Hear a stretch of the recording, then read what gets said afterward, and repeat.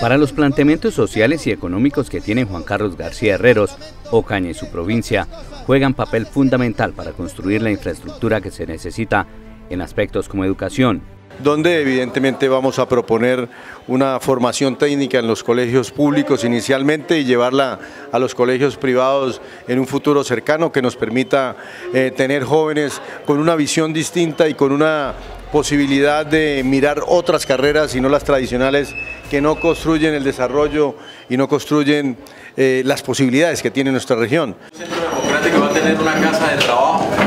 Una de las metas es transformar el sistema de salud, el cual actualmente presenta grandes dificultades.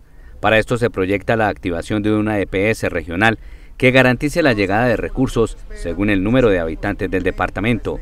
Estamos planteando la posibilidad de que eh, la gobernación, el municipio de Cúcuta y alguna caja de compensación y algunos privados puedan participar, eh, algunos privados norte santanderianos puedan privar para garantizar la llegada de esos 700 y pico mil de pesos que, a que tiene derecho cada norte santanderiano que hoy no llegan en su totalidad.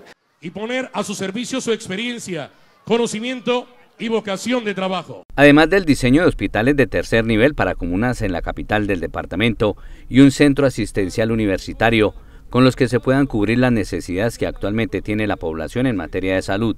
Sin pusilanimidad en la derrota de la corrupción y en la derrota de los criminales.